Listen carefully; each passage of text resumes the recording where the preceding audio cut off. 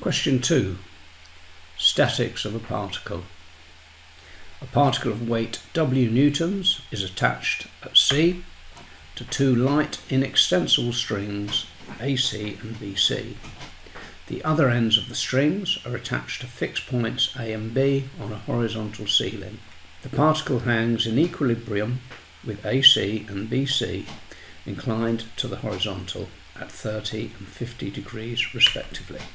Given that the tension in BC is 6, find the tension in AC. We resolve horizontally. We see that T cos 30 equals 6 cos 50. So T equals 4.45 newtons. Find the value of W. We resolve vertically. W equals T sine 30 plus 6 sine 50, which means W equals 6.82 newtons.